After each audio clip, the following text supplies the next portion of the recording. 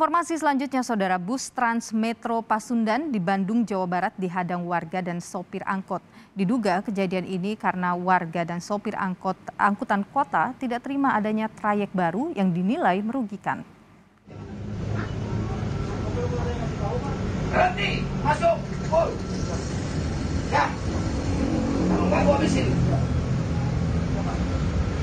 Kasih tahu ya, sudah tiga kali saya kasih tahu. Inilah visual detik-detik seorang pria masuk ke dalam bus dan meminta sopir bus Trans Metro Pasundan untuk berhenti.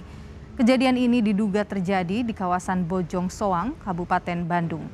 Dalam video yang viral di media sosial, terlihat bus koridor 3 trayek Bale Endah Bandung Electronic Center baru dioperasikan. Diduga kejadian penghadangan bus Trans Metro Pasundan dilakukan warga dan sopir angkutan kota yang tidak terima adanya trayek baru.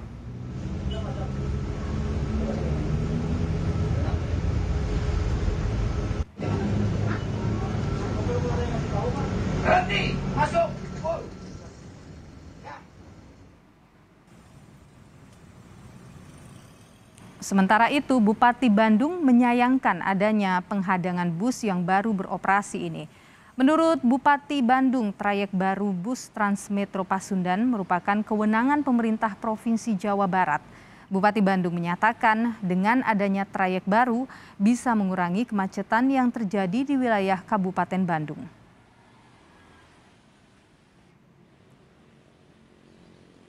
Memang ada beberapa kendala di lapangan, ada sebagian wilayah ke daerah yang protes ya, bahkan ada yang masuk ke dalam kendaraan. Nah, pertama saya menghimbau bahwa lebih baik dibicarakan secara e, musyawarah. Tentu mungkin awal-awalnya belum ada sosialisasi.